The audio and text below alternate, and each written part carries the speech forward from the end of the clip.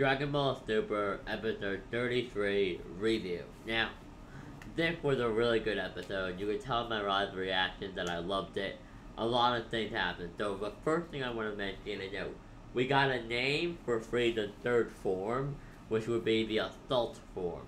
So now we know what Frieza and his great third form is called. Because of course it wasn't Frieza that transformed, it was Frost. Now, I love Frost. Great character. Amazing character. Really, all the meat of this episode really revolved around the Frost fight. so, but I will talk about Goku versus Botamo pretty quickly. So pretty much happened is they just kind of stare each other down and analyze their ability. Goku runs at Frost, he punches, he starts punching, fires a Kamehameha, punches him a bit.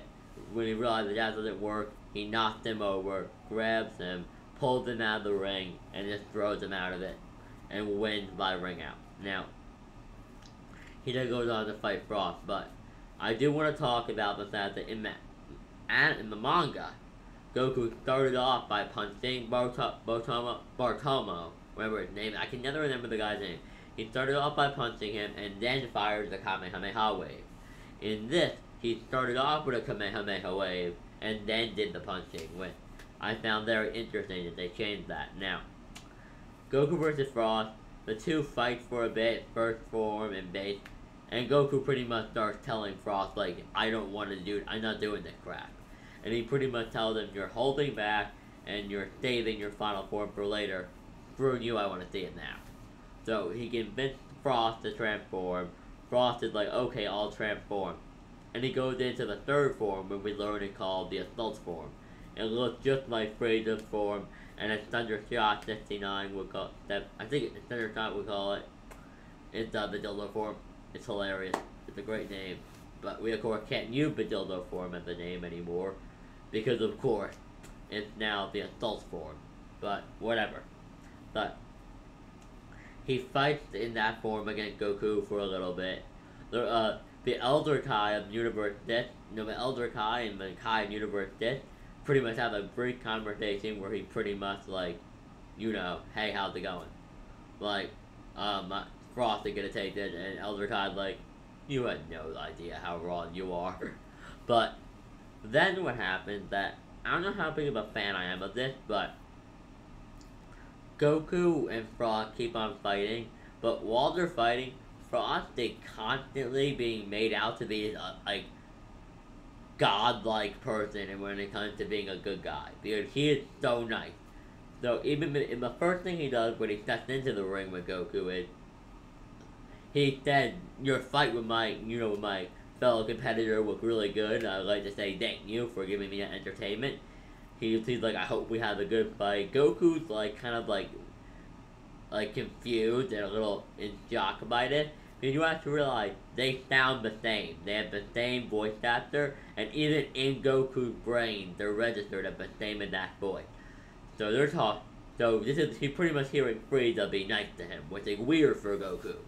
But he he, he then goes over to the Universe Seven people, and he pretty much tells them this is all for fun. I wish we didn't have to fight, but we do. This is all for fun, and I hope you guys enjoy the match.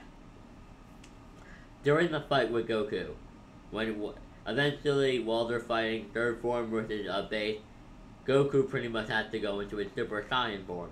So yes, it is confirmed in this episode, at least in the anime, it confirmed that Goku can still use the Super Saiyan form. There was a debate to be whether or not you could use it or not. Yes, you can. And the reason you can turn God Ki off was hinted at in the beginning of the resurrection of F arc. When Goku arrived to fight Frieza, Krillin said, now I can't sense his ki. Hence the word now. So we could sense Goku ki when they arrived, but then Goku started getting serious and charging up, and then he couldn't sense Goku ki, meaning he had activated God ki. and then got Super Saiyan. So this is pretty much Goku at whatever his base is now, times 50. It's a regular old Super Saiyan, 50 times base. But he, he, he, he just keep beating Frost. So he pretty much tells Frost stop goofing around. Frost goes into his final form, and this once again makes Frost out to be a great guy because Frost and this it's, it's amazing what Frost is doing. but he's pretty much telling uh, Goku all these things like he would do. Like in Universe Six, Frost is the leader of the Peacekeeping Force, which is of course the opposite of the Frieza Force. He will help end the war, and then he will help with the reconstruction after the war. He will also help out children that are in need, and so while he's fighting Goku, it is revealed by Vados that the way she got Frost to agree to participate was she said Frieza, uh, she said that uh, Champa would help the peacekeeping force and uh, lend him assistance.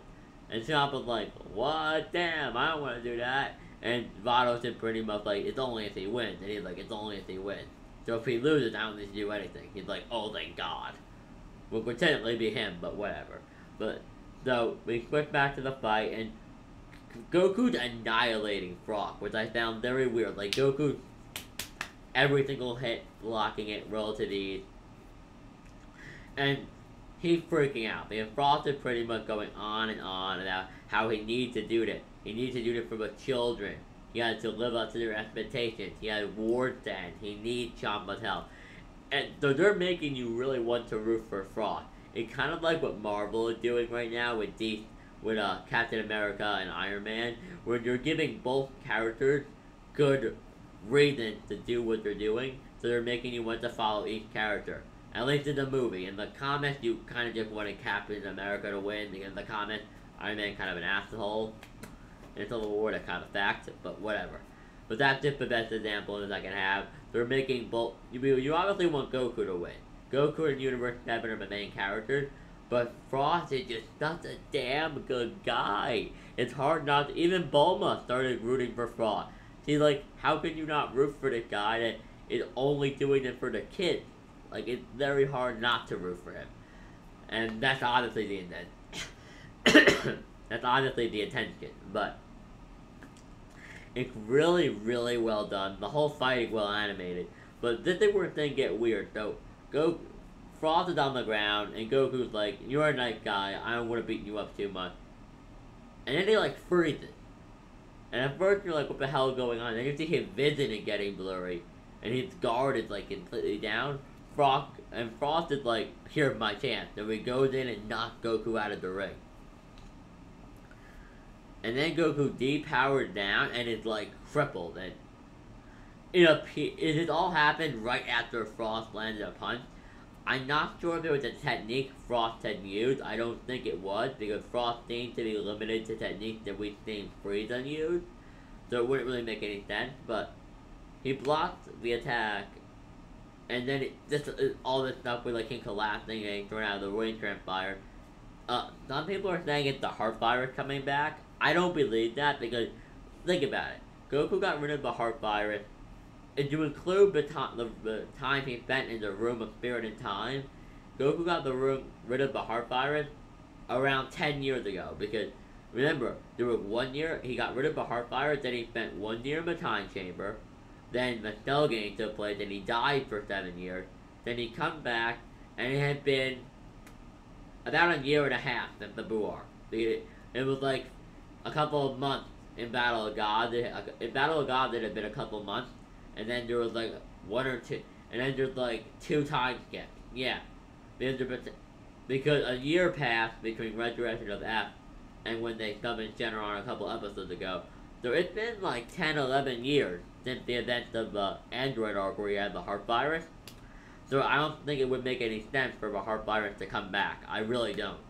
But that's just my opinion. Maybe it, maybe the heart virus. Maybe a technique that Frost did in the next episode preview, Goku does say, I don't know what that technique was.